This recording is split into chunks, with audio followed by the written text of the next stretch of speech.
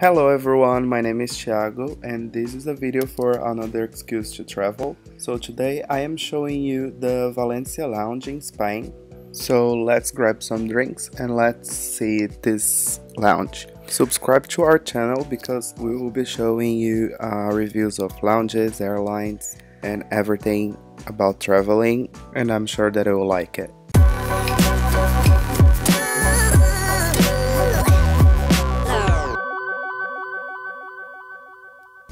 So this is a Aena lounge and this is both for Schengen and non-Schengen flights. It's located in the first floor of the terminal right after the security. Um, with this lounge, because it's a Aena lounge and is not specific for one airline, you can have access to it either if you are flying business class or you have loyalty with some airline.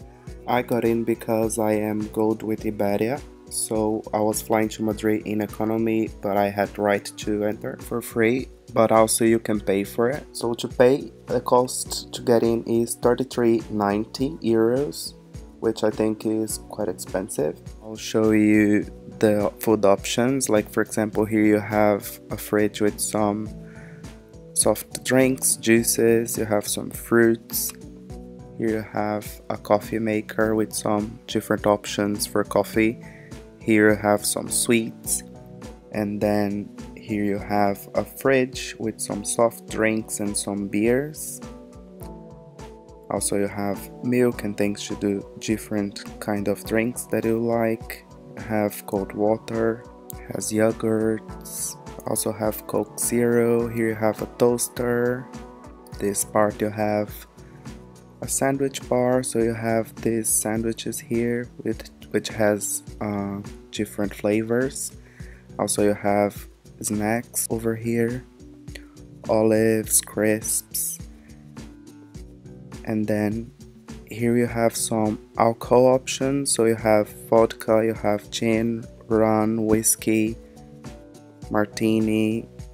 You have also some options of white wine red wine and cava.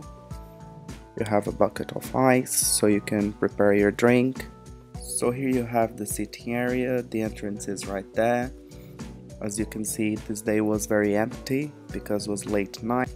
Here you have the business area and at the end you have the toilets and that's basically it. So thanks for watching this video, subscribe to our channel because we are preparing more videos like that and also to review some flights that we made. So follow us on instagram now so and also we have the blog twitter. I'll let the links in the description and hope to see you in the next video. Bye